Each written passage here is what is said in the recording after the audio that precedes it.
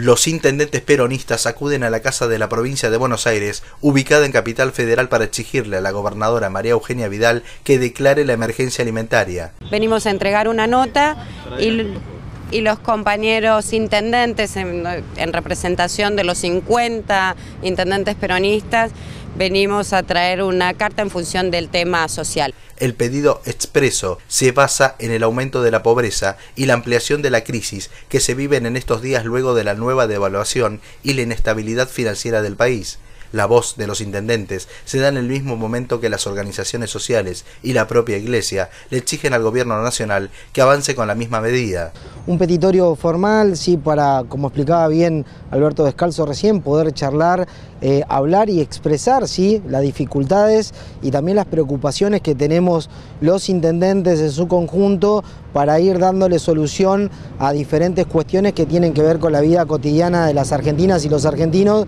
que no la están pasando bien por la coyuntura social, política y económica que está atravesando nuestro país y nuestra provincia de Buenos Aires.